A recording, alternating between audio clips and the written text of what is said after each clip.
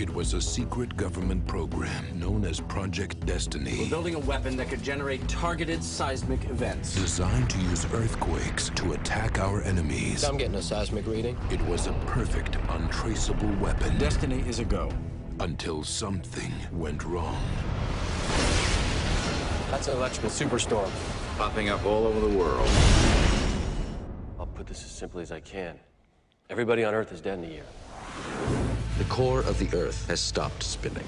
The spinning core protects us from cosmic radiation. Without it, radiation will create superstorms. Microwaves will literally cook our planet. How could this have happened? It was Project Destiny. We killed the planet. So, how do we fix it? We can't. The core is the size of Mars. You're talking about jump-starting a planet. What if we could? We're here about your legendary ship. What would it take to get it in three months? $50 billion. You take a check?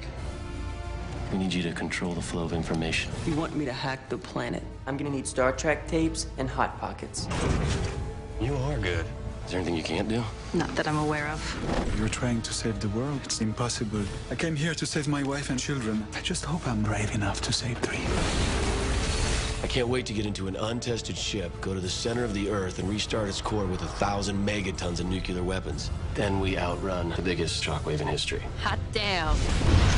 San Francisco is in ruins. The whole West Coast is out. And it's decaying faster than we thought. Two, 1 We're going in.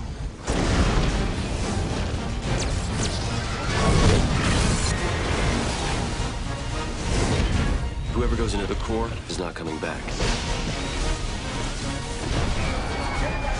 Losing oxygen. We got a job to do.